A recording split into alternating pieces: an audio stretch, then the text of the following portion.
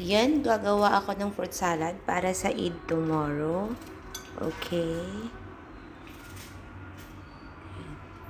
Ganito yung gagawin ko. Pero kakaiba yung fruit salad kasi may corn siya. Okay, corn.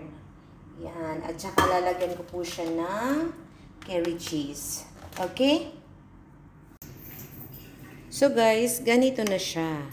Okay? Nilagyan ko na siya ng mais. Ma madilim guys, no? Kasi ano, nandito ako sa kusina. Mais at saka cheese. Kulang na lang yung fruits. Fruits. Ayan. Yan guys. Ihahalo ko na siya. Ito yung nasa ibabaw. Ihahalo ko lahat. Ganito lahat yan siya. Okay? So, Tara na guys, magawa na tayo ng fruit salad. Ayan siya, ihahalo ko siya dito sa ano. Ayan. Okay, yan. Ganito siya guys, ihalo ko siya. Okay. Oh my god.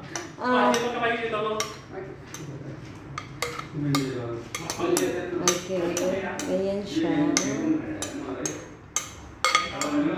Mga renters namin, nagsidatingan na. Maingay na sila guys.